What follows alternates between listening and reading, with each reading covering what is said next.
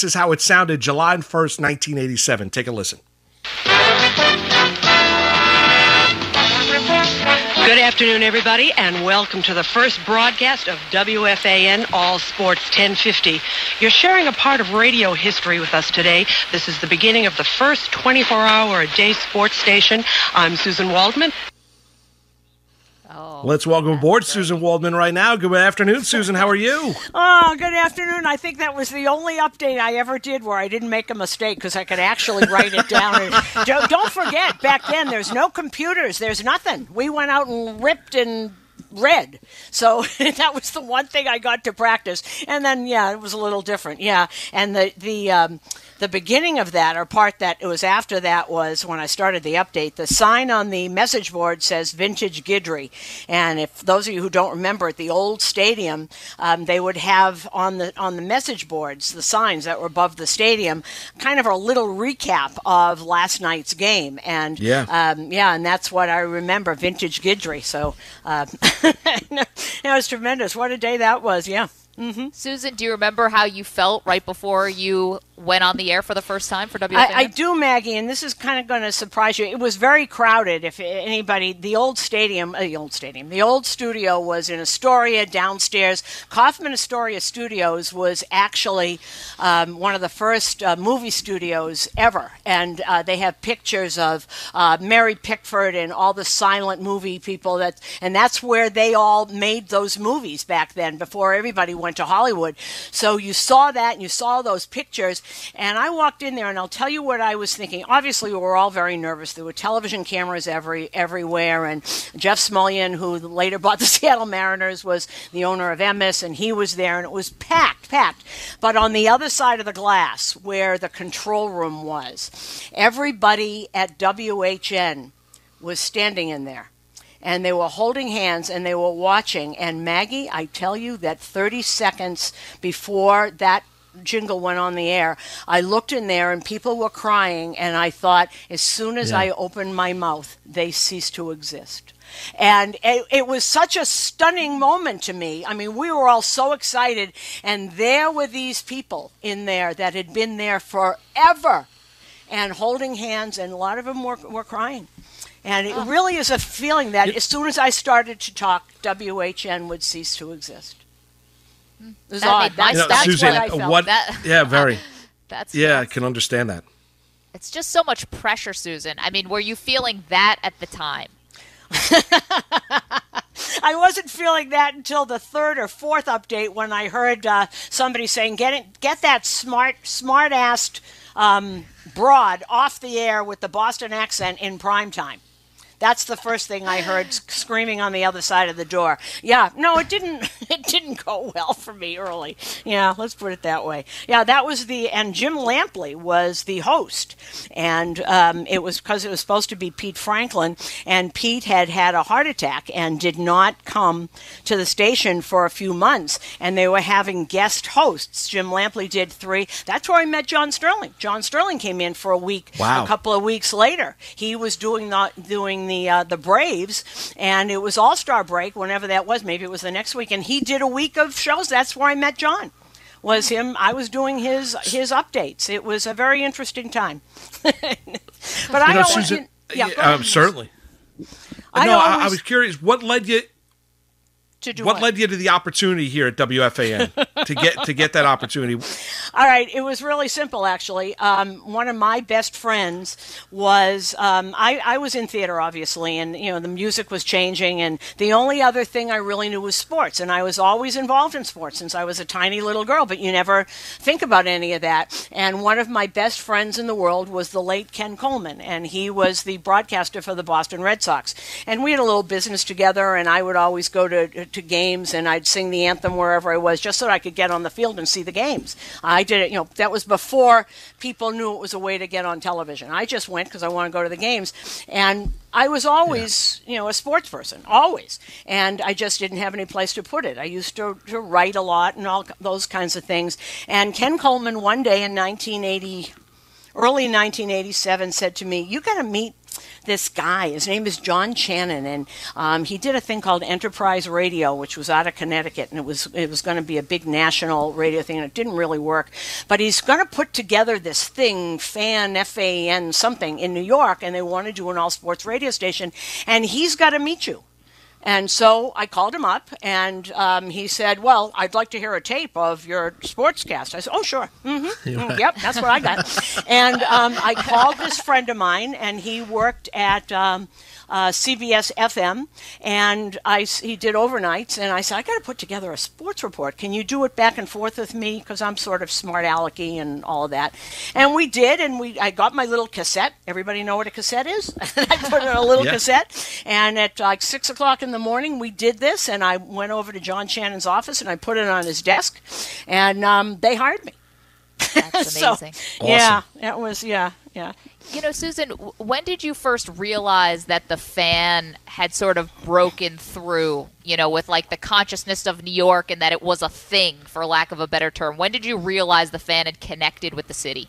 See, I always thought it had connected with the city. I know it wasn't successful until Imus got there, but I always thought it did because every place I went, and in those days, guys, um, when you know they tried to they tried to fire me, but they couldn't, so they moved me to overnights with Steve Somers, which really backfired because then I became a, a person because Steve Somers taught me all kinds of things, and I'd sing the national anthem to truckers at four in the morning, and we'd really have great talks and things, and I owe a lot to Steve Somers for teaching me how to do this business. But um, one of the things that I suggested was getting rid of the people. This is really early. This was still in '87. Um, the then program director, John Pruder, um, I went to him and I said, you know, with having people like a Moss Klein or a Murray Chass or a Bill Madden on the air in the morning to tell you about Yankee games, they're never going to tell you anything good. They don't want to give you stuff when before the papers. I said, give me a tape recorder. I'll drive. I'll go everywhere. And so we know that story. But what I saw, Maggie, every place I went, and I know I was going to, you know, to Yankee games and Met games and uh, Devil games and whatever, and Seton Hall and, and St. Yeah, John's. Um, Knicks. Knicks. Well, yeah, Knicks and Nets, and I did everything. I did everything. Driven my little car, and and then did overnights. And what I noticed was everyone knew what I had said the day before. So I never thought it was. I didn't know about the money thing. But I never thought it wasn't going to be successful because I knew what kind of sports fans are in this city. And once you had people just talking to New Yorkers, it was really going to work. You can't talk to people in New York like they live in Nebraska. I mean, nobody cares about Nebraska football in New York. I mean, it's it was it was those kinds of things that I thought if boy, if we could just get it, just focus it right into New York, I thought it was going to be successful the whole time. I really did. And Suzyn, growing up listening to the station, and, and you did a wonderful job covering all those teams. I, I loved it when you were covering the Knicks as well. I mean, Me those too. were Me those were I mean those were fun days. They were good days. I mean, talking about John Starks before he made the team, how the team felt about Starks and what he could potentially be for the team. I mean, those were good Knick days. You know what? And even before that, you know how I got the Knicks? Because um, the the year 80, uh, 90, 87, um, nobody we were going to go to do you know cover cover the Knicks. Well, the Knicks had um, won 24 games the year before, and they hired this coach that no one in New York had ever heard of, named Rick Pitino. Yeah. I knew Pitino from BU when he had the kids running up and down the court with bricks in their hands because they weren't in they weren't in shape, and obviously I know what he did in Providence. And they practiced out here in Westchester, and the guys said, "I'm not going to Westchester." And I said, "I'll go." And that's how I got the Knicks. And that was that was fabulous because I did know Patrick since he was like 15 because he went to school and uh, he went to high school in Boston. So we, I was very aware of him and um, his mom and all those kinds of things. And that was how, you know, those days were really fun. You know why? We traveled on commercial tr- planes with the team. So That's you're crazy. sitting in an airport, and there's the Celtics coming in as you're going out, or, or you know, you cross a different pass, and there's only there were only twelve of them, and you'd sit, and they have to sit with people, and they have to talk to people, and they talk to me, and you'd sit there, and you'd be all together. The uh, the um, back then, before there were charters, Mike Saunders, who was the the um, the trainer, would get your ticket. We'd all go go to SUNY Purchase or where we were, and they'd pass out the tickets, and you'd get on the plane. And it was it was a different different time. I loved those days. I loved the whole thing um, until you know, till obviously uh, the '90s when I went Yankees full time. But those were great, great great, great years. And you mentioned John Starks, who might be Starks, who still might be one of my favorite people I've ever met in my whole life. You know, Suzyn Waldman is our guest, and and you know, Suzyn, two things that you kind of said while answering that question that I think is really important for anyone listening who wants to be a broadcaster, which is always say yes. Mm-hmm. Oh, we got to say yes. Like if someone yep. asks you to do something, you know, you got to say yes to those opportunities. And the second one is you never know who you're going to come back around and encounter right? You knew Patrick Ewing when he was 15. You knew Rick Pitino from BU from Providence. You never know. It's a people think sports is this really big world. It's not. It's this it's really not. small it world. absolutely is not. One of the things I say all the time when people um, walk in, I said, you know, if you wait long enough, everyone walks in through that Yankee clubhouse door. The other thing is that I always say is you make yourself indispensable. I also did all the home games for the Devils. So when they got into the playoffs, and Brendan Shanahan was just a rookie that year, when they got into the playoffs the first time, they FAN had to send me because I was the only one who knew the team. And that was, you know, so you make yourself indispensable, right. and oh, I'll go. Okay. Yeah. And that's what that's what you did. I mean, I became friends with PJ Carlesimo when he was at Seton Hall. You know, now he comes when he's in town, comes and sits in the booth. It's it, it's such a small world, and I think people forget that. It really is because it's a small group and they do keep coming back over and over and over. If you stay in it long enough, you know everybody in the business. Mm-hmm. You know, true. Very, very true, Suzyn. The Yankees, you know, if eh, obviously George has passed away a number of years ago. Mm-hmm. Your your relationship with George, if someone comes up to you, Suzyn, and asks you, you know, they've read books, they've heard stories, you know, how would you describe George Steinbrenner uh, based on your experience about what he was as Yankee owner? Well, from my experience personally, only my mother and my grandfather were more important in my life than George Steinbrenner. And that is, um, and I was on the other end of those screaming phone calls too. But um, he was loyal. He was mercurial. I'll tell you a great story. You never knew what was going to get what George upset. And I guess everybody's heard the story of how I got, you know, I was not included in a luncheon and I flew to Tampa and, and insisted on talking to him. That's how we became friends because I went down there. And um, he, he was mercurial, so you never knew what was going to get him mad. I'd say something on FAN. I'd have a Yankee report. I'd maybe 10 in the morning and 5 in the afternoon. I'm not sure. And I'd say something. And I'd say, oh, my God. Oh, God, he's going to scream at me. and, and he never did. But one day I said something, we were in Seattle, and the bus was late. And I said something, I'm sorry, the bus is late or whatever. He called me and screamed at me, Waldman, you're cut off. Don't you ever tell people about our bus times. And he hung the phone. Slam, in those days, you could slam the phone down like I used to do to Russo. It was yeah. very dramatic. I mean, those were, you know, you just, it was so dramatic back then. None of this cell phone garbage. You had a phone. All right, that's it. Slam. And it was very effective and but we would do that, and um, he was he was loyal. I still, guys, um, have fans coming up to me and said, "Suzyn, I don't know who to thank, but since you're here, um, Mr. Steinbrenner put my father through college, and I don't know who to thank." Wow. Um, you know, he would send kids of and never tell anybody kids of policemen and firemen and college. Tony Fossas, who was a left handed pitcher for both the Yankees and the Red Sox, came up to me one day at the end of his career and said, I think George put me through. FS, I think it's FSU, one of the Florida schools, because he had programs that if you had good grades and you were an athlete, as long as you kept your grades up and were on some team or whatever, he'd pay for your college. And he never took a thank you. And he said, Can you find out? And I went to George, and George didn't like to be recognized for this stuff. And I said, Tony Fossas, um, you know, asked me, and he said, I remember him saying to me, Suzyn, what's the highest form of, of anonymity? And I said, of, I mean, of, of charity. I said, no, anonymity is the highest form of charity. And he'd say, it's in your Bible, Waldman. It's in your Bible. and, and I said, but he just wants to thank, thank you, and he's standing outside.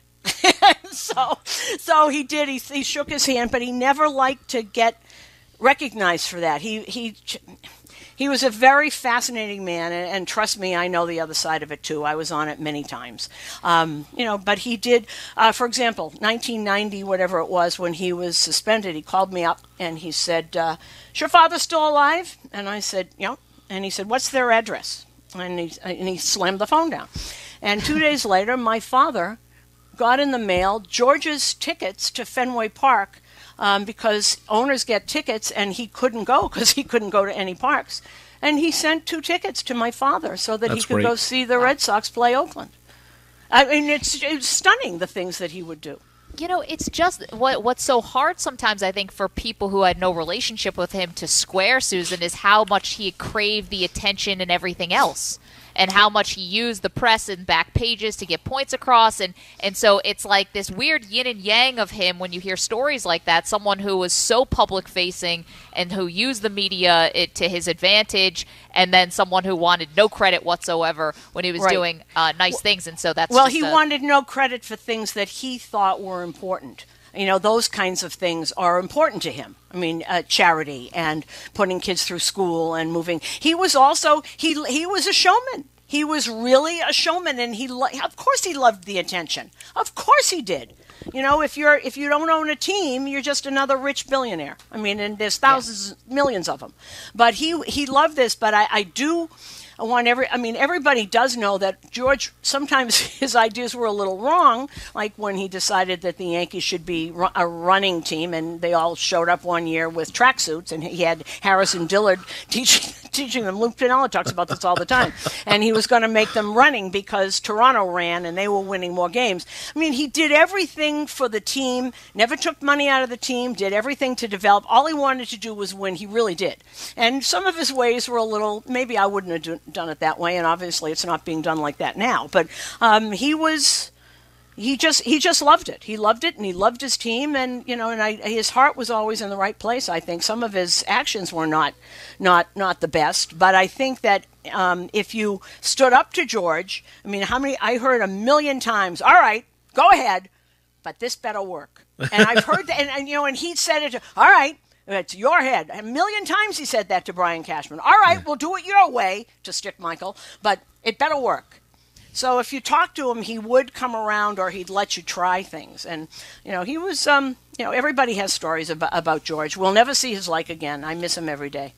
Musa Maggie with you here on this Wednesday midday, the anniversary, the July 1st, 1987 WFAN launch. We're talking about uh, talking to the legendary voice of WFAN, Suzyn Waldman, Yankees broadcaster, obviously, partner of John Sterling, Yankee baseball right around the corner. Suzyn, how are you going to look at this season? You know, 60 game sprint, not 162 game marathon. We've heard that.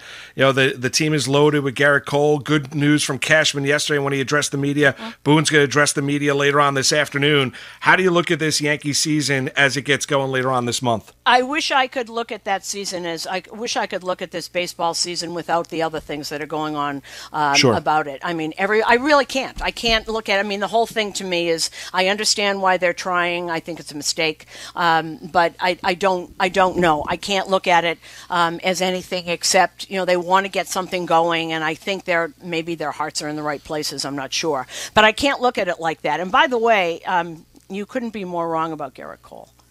He is not cantankerous. He is none of those things. He's a delight. He already is a leader in that in that clubhouse, and I think he's going to be fabulous. He's waited his whole life to be a Yankee, and you could see it. And that whole thing with the with the World Series, what you didn't put on the end of that sentence was that he actually did come out and talk. It was kind of a which happens a lot. He's he's something very very special. I would be surprised if he's not magnificent here. I don't know about this year. I don't know about anything this year. I'm putting my money, I think, on the Tampa Bay Rays because they always start so so hot, and it's a sprint, and not a marathon, and they're built for these kinds of games. Um, you know, I heard you guys talking about Aaron Judge and the launch angle and all that. Well, if you're going to do that and you're going to do it for 60 games, you're going to lose some games because um, people are not going to play like that. You can go right from the you're you're not going to have starters going five, six, seven innings. You're going to have starters going three innings and four innings, and then you trot in that bullpen. But if you got a shot at scoring a run, you better not sit there and wait for your pitch. You better go and score that run. That's why I kind of think somebody like Tyler Wade um, would be great on this team. You know, even if it in extra innings, do you start him on second base, move the runner around, or do you start someone else on second base and put Tyler Tyler up there because he's one of two people on this team who can actually bunt and move people around that way. they better think of other ways to win and not just sit back and wait for balls to go in the stands because I think that is not going to happen this year. But that's been the mindset here, and the really what baseball is is leaned into. You think they're going to see a complete opposite approach here across the sports, Suzyn? I, I don't know that, but I do know that the teams that have won in the last couple of years, the Nationals did not sit back and and wait to hit the ball out of the out of the park. Sure. A couple of years ago, when the Red Sox won, they did not sit back and wait um, for the ball to be out of the park. How many times did we see Mookie get a double and move him around, and there you go, it's one to Yeah. nothing in the first inning, and that's what I I th- you know I could be wrong. Nobody really knows, and nobody knows if this is going to happen either. Um, I, I only bring up Tampa Bay. I'm thinking of a lot of you know we're not going down the Orioles route, but Tampa Bay teams like that that um, was a great. He was a scout when I met him. His name was Dom Chiti, and he was a he was a coach for many many years. And Dom used to say when teams would get off to great starts, he'd say to me, "Don't ever forget." Um, boys play early, men play late. Well, there isn't going to be any late. So everybody is going to play early. And look at the teams that know how to score runs. I, I really think that you, you better start thinking of scoring runs. One of the things Aaron Boone tried to do last year actually wanted, talked about taking advantage of, of base runners, moving people around. Of course, it's easier to hit a three run home run than get five hits in a row off of Justin Verlander. But you better do a little bit more this year because, you know, you're going to go right from, you're not going to see those number five starters, I don't think. I really don't. I think you're going to do, you got a long bullpen, you're going to have the extra men are all going to be arms. And, you know, the Yankees have a slew of them, by the way. And don't, you know, don't uh, not look at some of these kids that are going to be in camp, like a Michael King and a Clarke Schmidt. And I think Nick Nelson is also in camp. There's a bunch of them, Deivi Garcia. Uh, they could come in, do an inning. You can keep going that way you know, pitch an inning, pitch an inning until your starters get all worked up. It's going to be very interesting if it gets going and if everybody stays healthy and there's no more problems. I what I what I kind of don't like is that I think everybody thinks this is in a vacuum and we're supposed to talk about baseball um, like it's any other season and it's just not.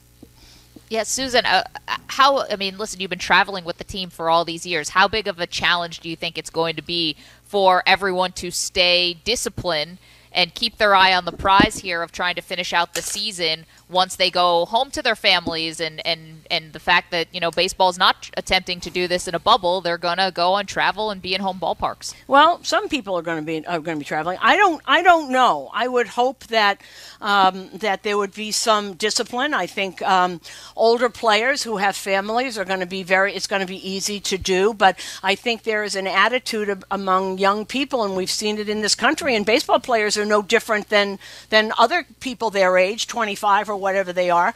A lot of people don't take this seriously.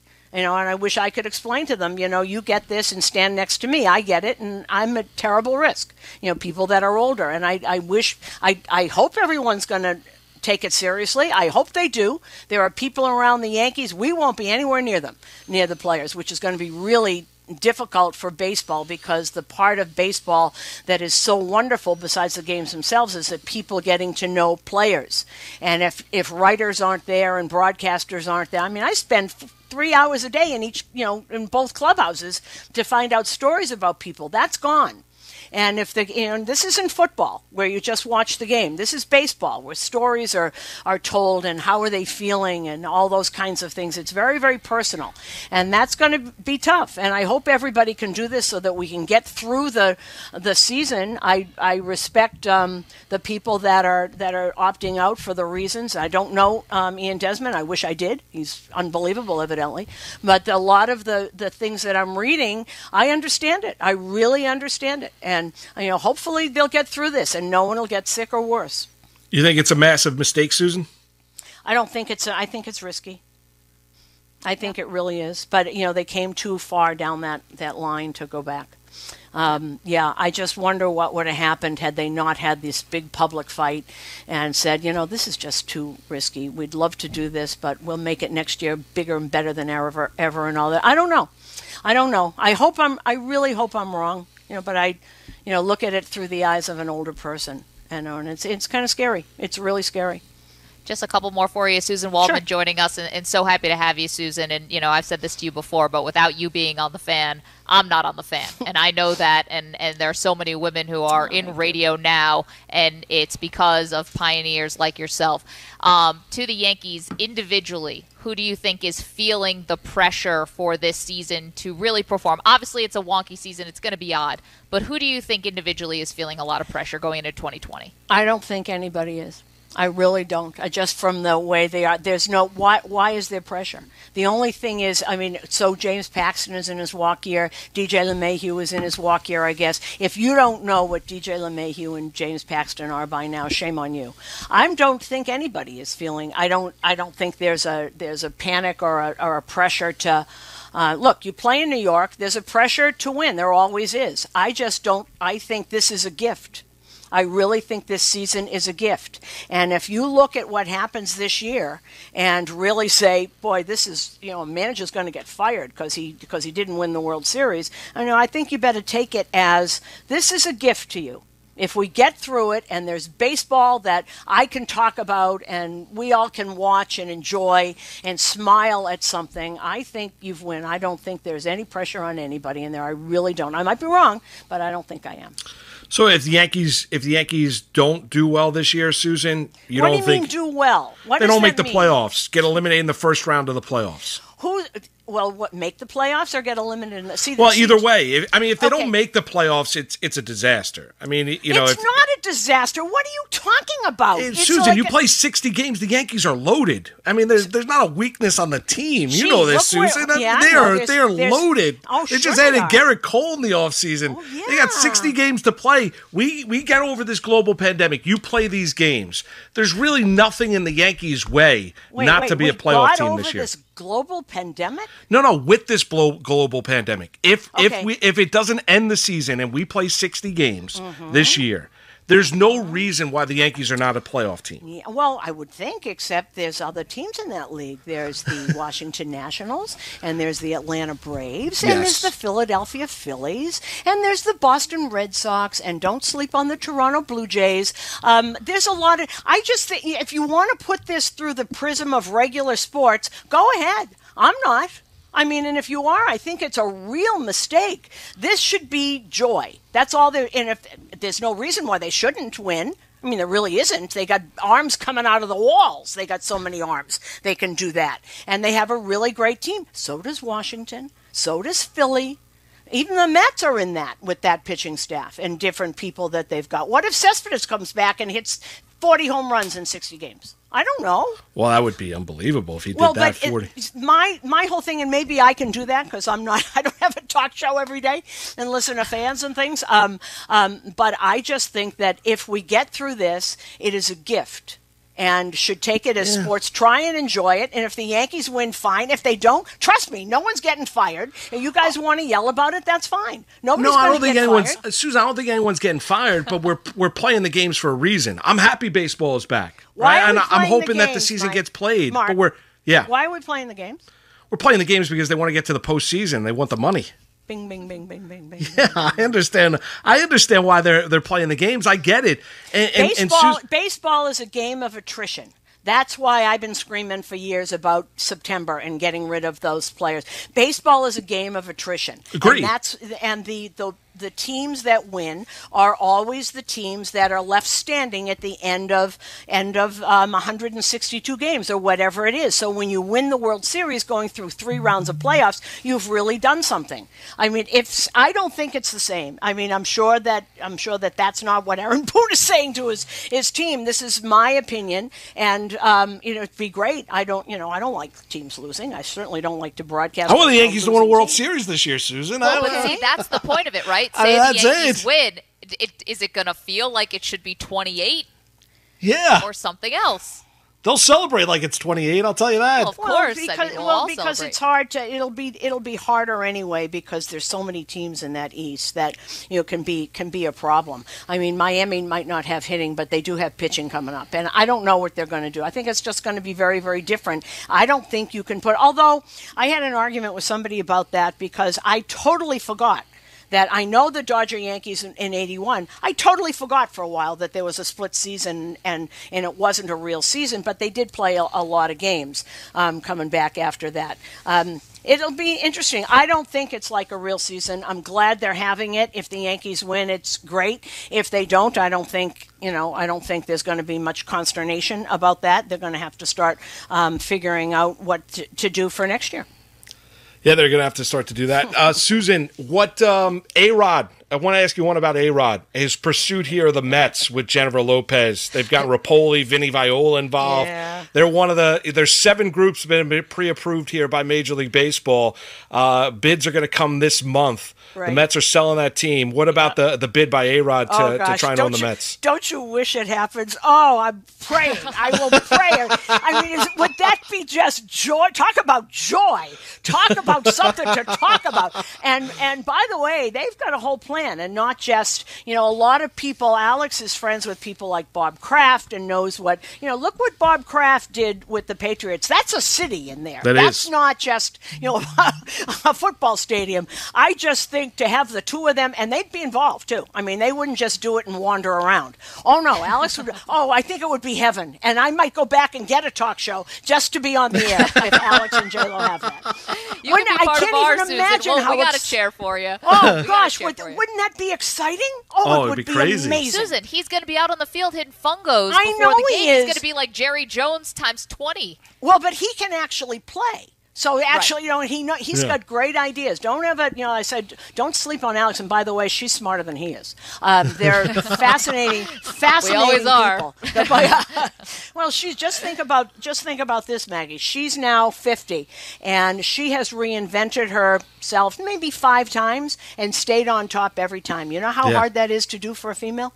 Oh, and she's she's the uh, triple She's- threat. You know, she's she can awesome. Act, she can she's sing, she can awesome dance, in yeah. every way, and real and nice. Yeah, very very smart. Very very smart. I hope so. I mean, I'm just I'm going to of the start lighting a candle now. That would oh gosh, would it be great? Oh, I can't even imagine how great that would be. Hey, Suzyn, we appreciate the time. Um, good chatting with you, and uh, and thanks for the time this afternoon reminiscing. Thanks for asking me. Thanks. Of course, thanks, Suzyn. You Okay, it. happy anniversary, FAN. That's it. The first It's voice of special WFAN, day. Suzyn Waldman, July 1st, 1987. And always good to talk a little baseball with Susan. Moose and I are going to take a quick timeout. Uh, we touched on something there. Whether it's a disappointment if the Yankees don't make the postseason or whether they get, would get ousted in the first round, should you look at it, as Suzyn said, just pure joy? Just look at the season as a gift Oh, and that there's no expectations, or are there and what do, massive we, expectations? what do we for the exactly? So then, after a bad Yankee loss, we're going to come on the airways at 10 a.m. and just be like, what? Baseball's back?